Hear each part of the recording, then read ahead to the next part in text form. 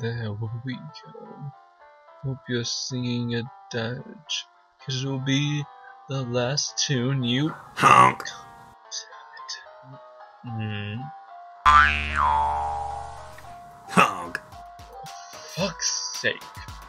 What the, the fuck are you doing here, you fuck? I was all up in using them gates, but then I done up went up the wrong one. Now I'm here. What's up? Your head on a fucking platter. What's up if you don't get out the damn way, your greasy face, vile breath, dirt under fingernail piece of. Uh, shit. Motherfucker. Whoa! I hate angels so goddamn much. Why do they got to be so freak? What did I ever do to deserve this whispers in the wind shit? And while I'm at it, what did I ever do to deserve having you of all people around? Couldn't be a cute girl or a boy with maybe some nice muscles definition? No, got to be your lovable ass, doesn't it? Even lizard on. Man, why you always talking about that? Like relationships and shit. Why do the stuff always talk about you? Some fucking thing a man got needs. Yeah, but like, if you don't eat every day, you die. You just don't get it. My loneliness is a fate worse than death, darker than the deepest ocean, colder than the highest fucking mountain.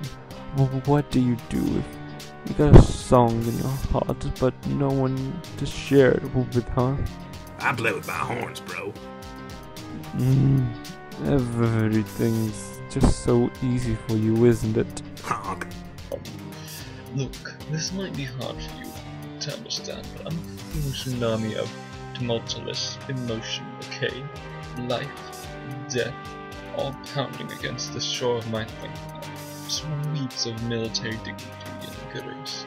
This ship's beyond your comprehension. Don't even try. No.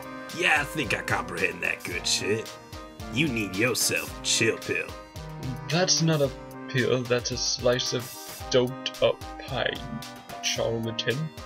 Chill pie, my man. Get that toxic shit away from me. Alright, here we are. This leads back to my hive, so you can get up the second gate and fuck out of my life. You sure you don't want me around, bro? Yes, because I fucking hate you. You ever want me to hang around later? Just hit me up on Trollian whenever. Don't count on it now. Fuck off. See you later, my good inverted brother. Fuck you. Wow. Why didn't he insist on staying harder?